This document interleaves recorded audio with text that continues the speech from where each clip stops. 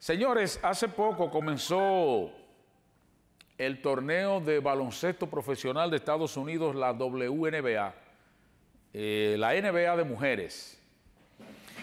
Y definitivamente se han establecido nuevas marcas de asistencia y de teleaudiencia con los primeros días de este torneo de la WNBA, algunos le dicen la WIMBA, es la WNBA, es la NBA de mujeres. Y ahí precisamente en la foto aparece eh, una de las jugadoras que se ha convertido en muy popular, se ha convertido en muy popular en el baloncesto de la NBA. Ella fue la primera, Kaitlin fue la primera selección del sorteo. Ella fue la primera selección en el sorteo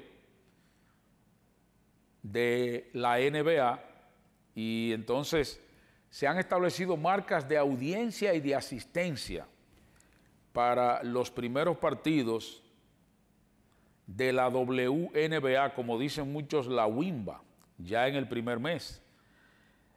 Ha sido la mejor desde 1998 y los mejores índices de audiencia televisiva anunció la WNBA este pasado martes.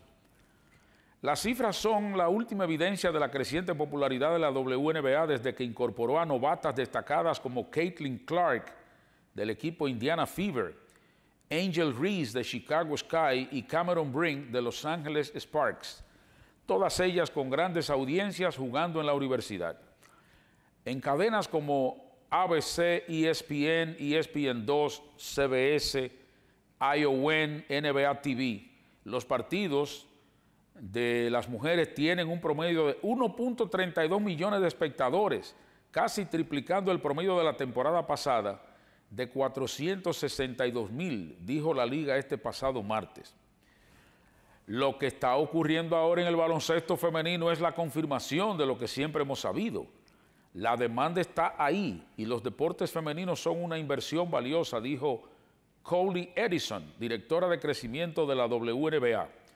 Nos sentimos alentados por el creciente compromiso. Excelente.